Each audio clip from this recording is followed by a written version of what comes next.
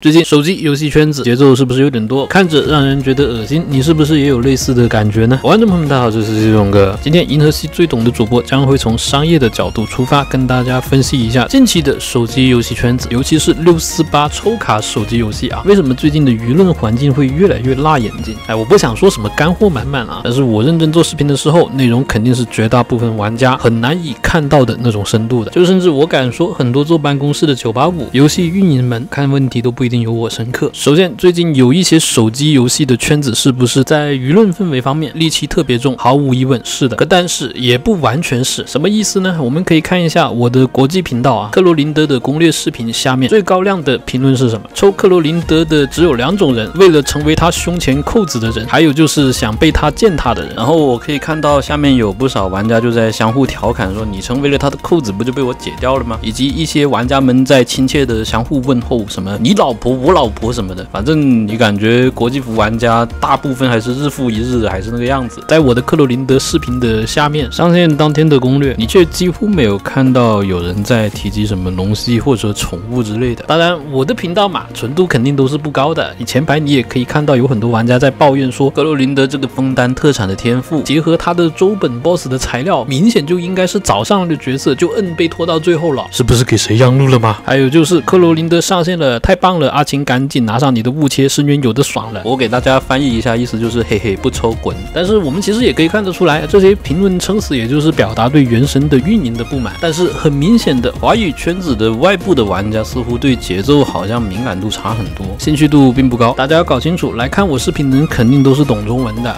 当然也有一些华裔他只能听得懂的，打字打得不太顺。但是我相信他们绝大部分看和听是完全没问题的。想要浏览中文社区，多半也是畅通无阻。事实上，我翻了一下两百多条评论，里面实际上是有这么一条是在提起宠物夫人的。我估计看漏了，可能还有第二条、第三条，但是，嗯，总之就是感兴趣的明显肉眼可见的很少，比例比较低，以至于你得专门去找才能够找到类似的评论。那条评论其实有十几个人点亮，那说明其实知道的人是不少的，但是可能大家也不太想去搭理这种事情，最多就是点亮一下，甚至连单独留个言都懒。那反正就被淹没了嘛，这不太起眼。在很长的一段时间，根据我的观察啊，这样说吧，假如社区起了十次节奏，R B 上面可能有八次、九次下面都在热切的讨论，但是国际服可能评论区能够看到的明确的大家感兴趣的只有这么三次左右，就属于那种比较大的事件，比如说呃三颗纠缠之源之类的大节奏，大家都会有动静。但是剩下六次可能小节奏呢，在国际服社区就显得声量很小了，关心的比例迅速就下滑了，所以就显得要格外安静清静一些。总的而言，你盘点什么最近十大节奏，他们可能会六到七个，很多人没听过。首先在这里我们看到的第一个现象就是，为什么国际服玩家的社区环境很显然就没有部分的国服玩家社区这么的混沌呢？因为他们并不是不知道，也不是看不懂，但事实上也有人在提及，也有人在点赞，但是为什么感觉就是散不太开来啊？或者说相对的散开的幅度比较小，这个就引发了我思考。今天跟跟大家总结一下啊，我认为可以说是高等社区论。银河系最懂游戏董哥又要提出惊人理论，那就是资本容易塑造二极化的社区，并且这个理论它实际上可以适用的范围还是挺广的，不仅仅在游戏圈子，它可能跟你的生活也有很大的关系啊。你们都知道我在美国还待了很长一段时间的，因为我有个大舅在美国当卧底嘛，然后我作为银狼的老公是地球圈最好的黑客嘛，有时候要过去帮忙，是个普通的男子高中生侦探黑客。Oh, Sheldon, your hacking it's very good. Nobody is better than you. 有没有感觉莲花指都快看到了？我靠，我的设定怎么越来越复杂了？然后我在美国也算是待了一段时间，当时根据我的观察啊，他们那边不是每四年一次就会背后有两股资金在较劲嘛，会撒到各种社区，然后就进而产生深蓝和深红的两种社区。然后那种很深度的社区啊，一般说话都是挺极端的。就打比方说，有些支持者会觉得我大舅辱骂女人是正常的，一个真正强的男人就是应该辱骂女人。你可能听起来很极端啊。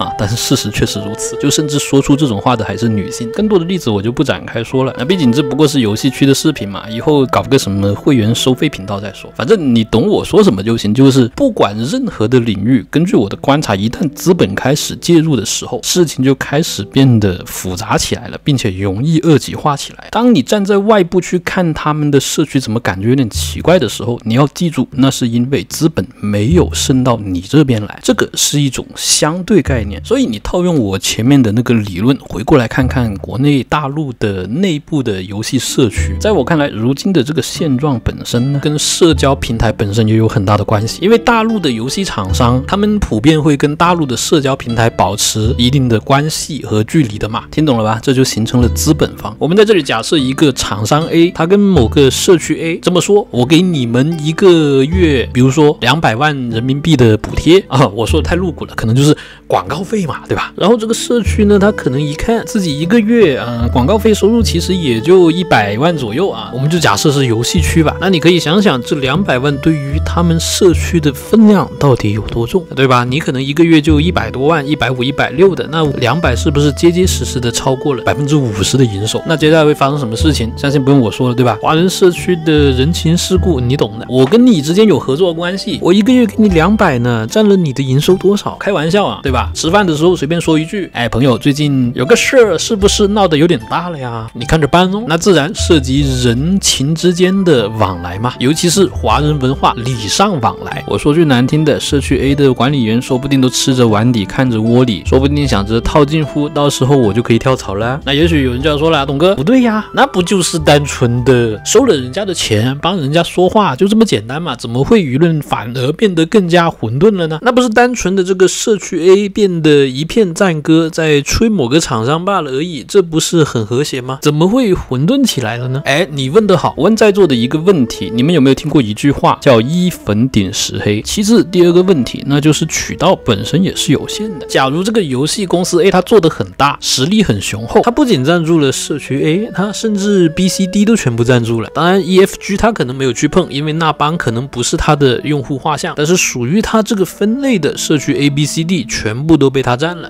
那我问你，接下来剩下的厂商怎么办？哎，此时肯定有玩家们要这样说了：那我出钱砸呀，跟他抢呀，抢话语权啊！哎，说的太轻松了，你怎么不砸个五亿兆美元把扎克伯格买回来，给他脖子套着，让他帮你看门呢？肯定有人要说，我有这么多钱，我会买扎克伯格那种东西。我买美少女不好吗？啊，我买我就买眼镜娘 J.K. 啊，还要带瘦耳的，而且还要双马尾。你小子还挺懂的，很对啊。但是更更重要的原因，恐怕是你没有五亿兆美元，你在骂。说白了啊，就是不是每一家公司都有这种实力去赞助各大社交平台的。于是，在背地里面就会形成一种商战。在这里，商战有两种打法。第一，就是你跟他抢资源，你花钱，你也砸钱。这个思路非常简单、直白、粗暴啊！但是说的简单，参考前面，你怎么不花五亿兆美元把扎克伯格买下来，在你面前跳肚皮舞呢？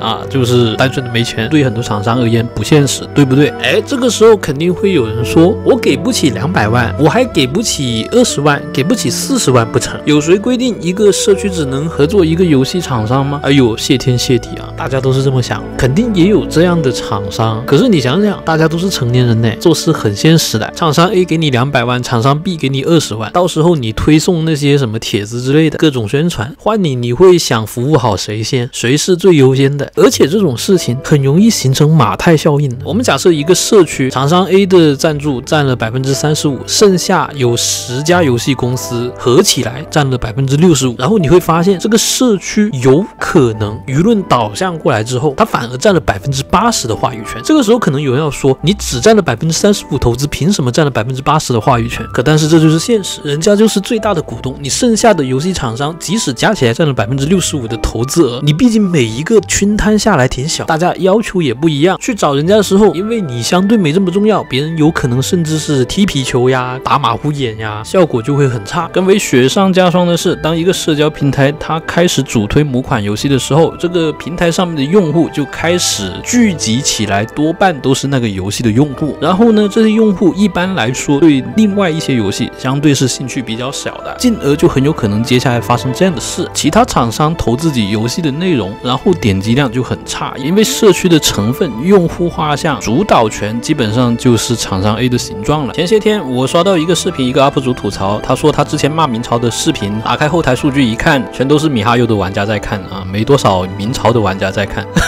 啊。非常的有意思。但是我也想提醒各位，就是玩米哈游游戏的玩家也是有权玩明朝的啊，大可不必对这个画像有过度的解读。很多人玩米哈游的游戏，不代表他对米哈游忠诚、忠心耿耿。他玩米哈游游戏，只是单纯的对米哈游游戏的一种认可，做得好就夸，不好就骂，很简单，很纯粹的。我们是消费者，我们才是米哈游的爹，请叫我们米爹，谢谢。真正的米爹，值得信赖的米爹。我现在已经把耳朵放在麦克风旁旁边了，来，各位大声点，叫的亲切点，米爹系 UP 主值得信赖。我靠，是不是不小心离题了？我意思是你打开一个竞品的视频，都可能是完全是隔壁的玩家为主在看，你想想，那更不要说一般的视频了。那数据自然是占主导地位的那一家厂商推送比较漂亮，这个就是一种另类的马太效应。所以像明朝这种把自己塑造成 Genshin Killer Yamato 的感觉的营销方式，还挺聪明的。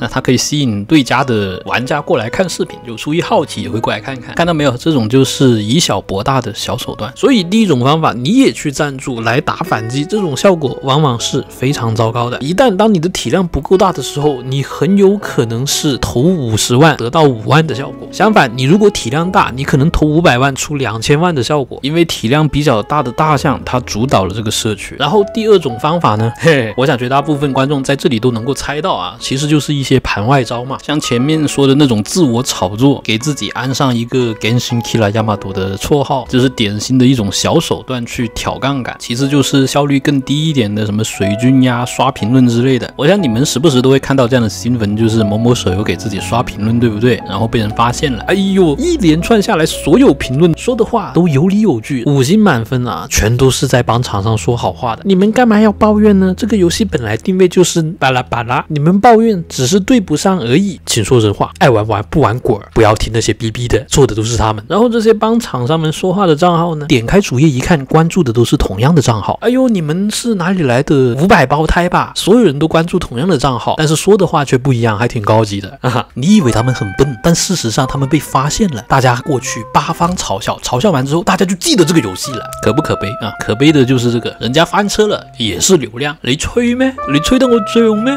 这些只是小花招的。其中一部分了啊，而且还是比较诚实的啊，破绽也太明显了。那肯定还有很多更肮脏的手段的。视频看到这里，估计有一些大聪明要说了：“哎呦，我喜欢的那家公司，我粉的那个好哥哥，他就不干那些下三滥的事情的，他做事都光明正大，脑子里面只有服务好玩家，晚上睡觉的时候也只有天上的星空。那家公司里面的几个我的好哥哥，他们的心里面只容得下梦想，以及开往伟大航道这么崇高的目标，光明正。”大的出钱砸钱，怎么就不行呢？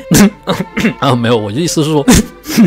不要误会，我不是说你家好哥哥背后有没有做什么勾当之类的。事实上，在我看来，有一些大公司，他们是肯定是不屑做那些下三滥的手段的。因为一旦出问题了，被曝光了，舆论风险划不来，到时候你可能还得准备几个员工切割啊，把他们打为临时工之类的，还要安顿好，挺麻烦的。哎呦，你怎么这么熟练啦？这就是为什么很多大公司宁可只要百分之十的利润，他们也看不上那些小单子，利润百分之八九十。因为当体量到达一定的规模之后，最重要的其实是求稳了啊！当然，我不敢打包票啊，每个人性格不一样，有些人确实更加天生容易贪小便宜。要是所有大公司的运营都这么聪明，就不会有公司倒闭。多少名字载在史册的伟人都翻车过，何必去神话那种坐在办公室一年赚个区区千把万的 K 列飞呢？对吧？确实是小人物嘛，难道他们还能够载入史册不成？但是不管怎么说，这个事情的重点，它其实并不是一家公司在背后有没有做什么手段。这个世界自始至终，它就不是非黑即白的。当你成长到一定。的体量之后，当你占用了整个圈子的资源的时候，你自自然然的都会挤压其他人的生存空间。在表面上看起来是别人反击你的手段比较卑鄙，但是你换一个屁股，你可能又会觉得画面又不一样了。因为有人在获取暴利的时候，他试图在维持这种暴利的现状，说白了就是想要维持垄断地位。这个其实也是可以理解的。你做生意你也想一直垄断，那么你作为后来者，他会把你当成什么未来可期？期的学弟什么，好好扶持一下你，给你建议，让我们一起为国产游戏争光，会这样吗？你会这么觉得？那你确实有点可爱。真的啊，商场如战场，当你砸别人的饭碗的时候，别人自然会拿命跟你拼。这就是我当商人最大的感触。我以前在海外留学的时候，看到过一家店在卖假货嘛，我就写了一篇文章曝光他们。没多久，他就联系上我了，就一副要跟我拼了的那个样子，你知道。想要跟我同归于尽，你想想卖假货的都这么猖狂。后来我的一个朋友这样跟我说：“你说不定只是出出于正义之心呢，但是这可是人家的生计，你这样搞就说不定等于把他们全家的收入来源给砸了。人家当然跟你拼命。商场就是这样的，当你做大做强，垄断行业资源的时候，你期待你的竞争对手们做什么？坐以待毙吗？跪下来跟你喊皇上万岁万万岁吗？别这么天真啊，对吧？垄断的那一方不会当后面来的是可爱的小学弟啊，后面来的那一方也不。会把你当成什么可以尊重的、愿意帮我、愿意扶持我的好学长的？归根到底，一家公公司本身内部就有几千个思想。很多玩家，我想提醒你们，你们其实，在拟人化的那一瞬间，这个本身就已经是错误的画像。商场可不是什么讲道德的地方，这个平衡感是异常难抓的。这些相关联的经济理论啊，我们用更通俗的话说，就是你总得给别人一口饭吃吧。可但是商人的天性就是贪婪，很多时候他们是抓不到这个平衡感的。就包括我自己经商的时候，我也。抓不到这种平衡感，我会把别人赚到的当成我的损失。如果有的选，谁不希望体面的垄断着整个行业呢？很多成就它是需要天时地利人和的，人和可以自己努力，但是天时地利呢？人生就是这样的嘛。有些时候在某些阶段，人家就是有贵人，你是没有的。人生很多时候赌对方向是很重要的，这个运气成分也是占一定比例的。做交易员的应该最懂了，就是你眼光再好，你也不可能胜率是百分百的。有些交易员他很赚钱，但是他胜率可能只有百分之五十。但是人生可不是交易啊，很多。人的人生，他成功的风口可能就只有一个或者两个。如果是百分之五十全部错过了，可能就真的碌碌无为一辈子了。操，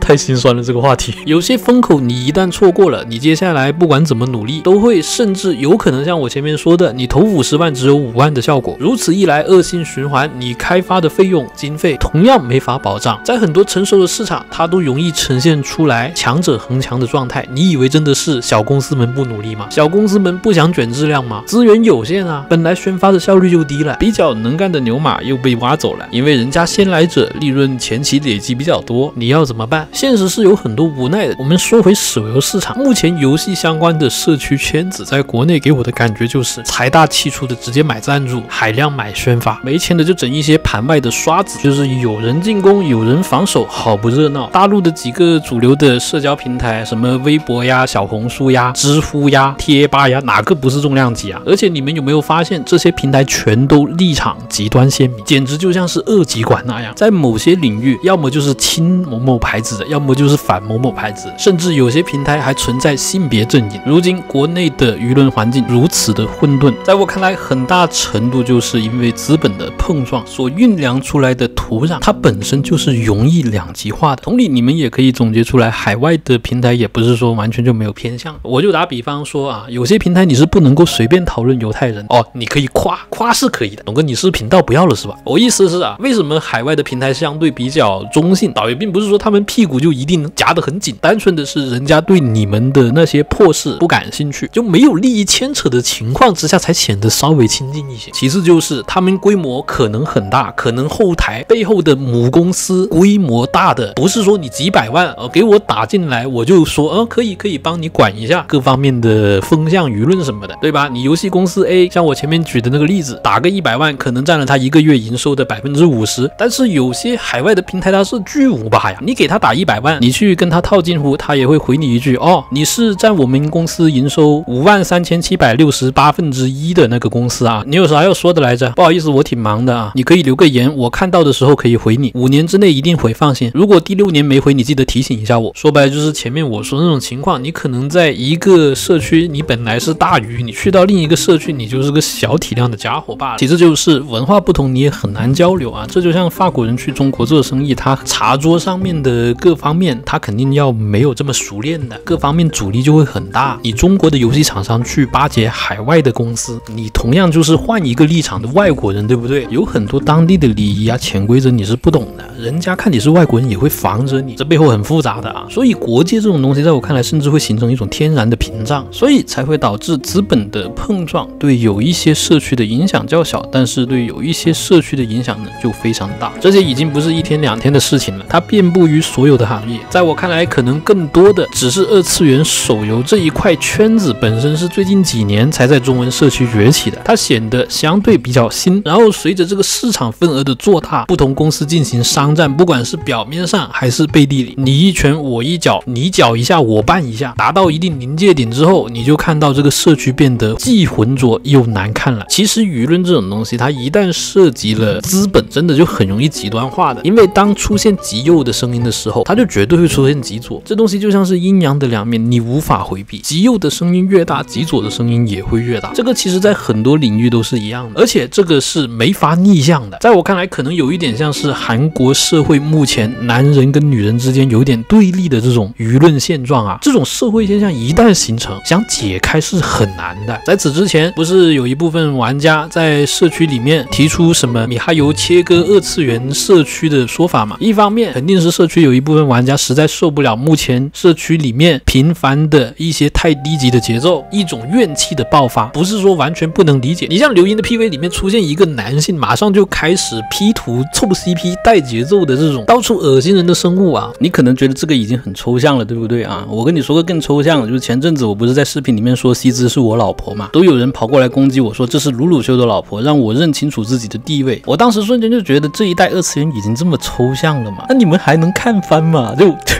啊没有，我是打心底的感到同情，就是就玩原神玩的，就原神把你们害成这个样子是。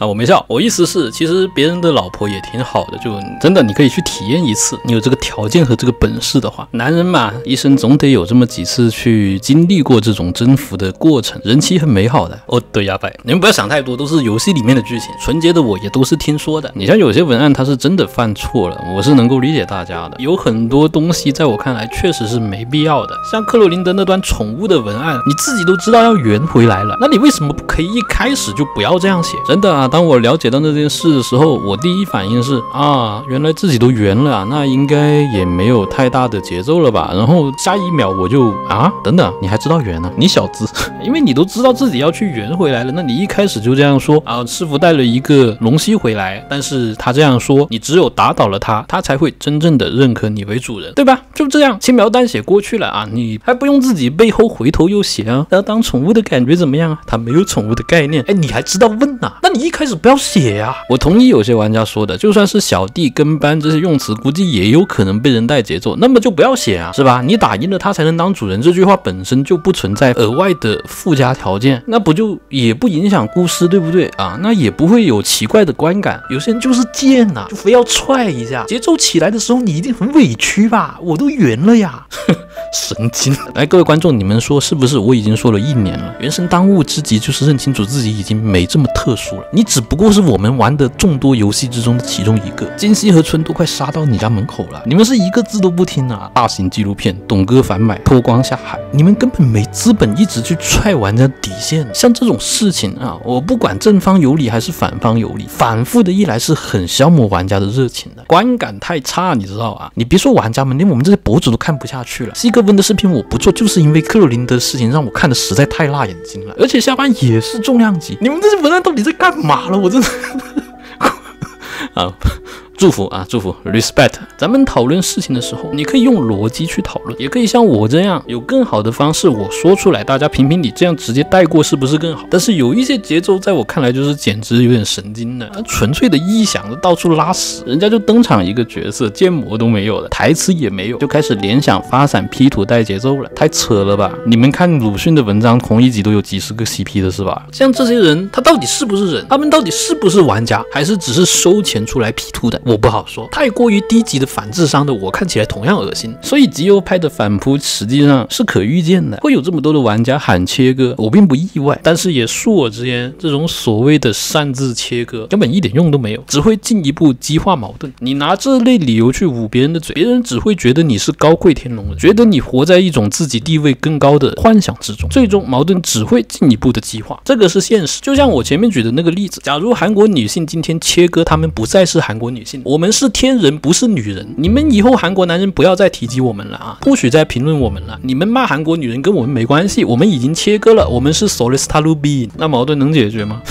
啊，矛盾只会进一步激化。矛盾从来就不是极端的两派你一拳我一脚的攻防战之中化解。这种你骂一句我骂一句，肯定是不会为你带来安宁。咱们现实一点，很多问题是你我无法解决的，靠嘴巴是没办法捂住另外一个嘴巴的。与其在有一些无聊的事情上面过度的浪费你的情绪，不如远离，多关注一点。像我这么纯洁的看待事情的时候，更加理性的全面的 UP 主。矛盾的化解绝对不是靠左右两派在打嘴炮的，只会加剧。真的啊，化解是源自于自己的放下。我充分理解大家可能有时候受了一些游戏的气啊，可能要骂一下之类的。但是骂完之后，我建议大家不要每天长时间泡在社区里面刷帖子什么的。一旦长时间陷进去了，甚至自己跟着一起冲锋，或者幻想自己在保护游戏厂商什么的，长久下来只会消耗你自己的情绪以及你宝贵的人生，划不来啊！真的语重心长的跟你们说一下，自己的人生自己。的时间要更重视一点。你如果觉得哪个游戏他们恶心你了，那么你恶心回去的最好方法，要记住就是直接无视他们。你要是骂回去，他们反而不难受。他们最难受的是你都不骂他们了，那他们才是真的凉了，那他们才会真的有可能改。你们要搞清楚，并且如果社区里面越越来越多这样的玩家，就像我国际服的观众那样，对类似的节奏不去纠缠，不去狗斗，这样久而久之，这个社区的氛围才会平静下来，而不是像现在这样啊，他大概。一字母他的盖这样的社区环境，我相信对游戏本身也是不好的。我认为这个世界上其实有很多沉默的人，跟我一样，因为这个社区的环境太过于辣眼睛，就选择了离开，甚至连动着游戏都不上了。哦，那我是游戏评论员，我还吊着一口气在上线，没办法，这吃屎也是我的工作的一部分，这也是我的工伤。吃完之后，我还得跟大家汇报一下这个口感怎么样，润不润？看在我这个职业精神的份上，两个币起步不过分吧？但是我内心清楚啊，就自己知道有一条线在那里。如果不是主播，我的选择会完全不同。在座的各位，你们可能只是普通的玩家，真的对你们而言也不是工作，非必要的情绪消耗尽量避免。最多每天下班来我这里吃个饭就算了，一起笑一笑，恰恰瓜子。剩余的时间，外面的世界很精彩的。资本的碰撞，它本身也刺激了土壤的二极化。有些时候，厂商也是迫于无奈，商战是不得不打的。你不打，别人也会打。你就算不主动进攻，你也得积极防守。你积极防守了，你又会发现，有时候进攻也是很好的防守。这就像是深渊一样，当你凝视着它的时候，它也在凝视着你。而这些，它甚至只是其中的一些原因罢了。你比如说，之前我也有朋友说，原神虽然前阵子有弃坑潮，可是弃坑的都是正常玩家。那你能留下来的肯定都是爱的深沉，或者是恨的深沉的，要么就是粉转黑的。你要黑转粉应该是很难的。所以社区本身它其实也有很多的人间百态，各方面的原因像是蜘蛛网一样，它是交错不清的。我随口又能够给大家另外一个视角，我不知道还有多少观众记得我之前说过这么一段话。我在一七年的时候入坑过一款手游，它的三 D 建模水平在当时来说是非常顶级的，但是到了二零二一年的时候，它就给原神毫不客气的吊打了。长线运营的手游，你总得面对这样的问题：第一是玩腻了，第二是你技术力也开始不得不被新的精品拷打了。对比了。啊，然后你又得面对更新整体游戏的引擎，是不是开发一个新游戏更加划算？还有开服红利可以吃啊，很多的矛盾，这些担忧其实我在一两年前就已经提出过了，他们也正在逐步的变成现实。所以如今原神所面临的困境，它单纯就是到达一个瓶颈，在这么关键的转折点，原神的运营却丝毫也没有显得稳健，反而非常